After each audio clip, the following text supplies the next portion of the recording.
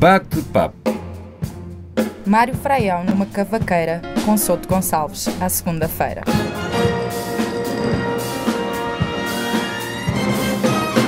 Ele tinha lá um amigo, um, um, parede, um amigo, que era o Sr. Manuel Goulart, que era um irmão mais velho do Sr. Amílcar Goulart, que alguns se lembrarão. Uhum, eu lembro. Ele já estava em Lisboa há uns anos, e é que lhe arranjou lá uma, uma pensão, uma pensão que também aos almoços juntava pessoas que não estavam lá na pensão, mas iam lá almoçar, um grupo grande, e às tantas, quando souberam que ele era dos Açores, convidaram-me, fizeram muita festa e faziam essas perguntas sempre, do género, nada.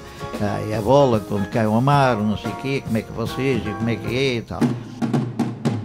Bate-papo.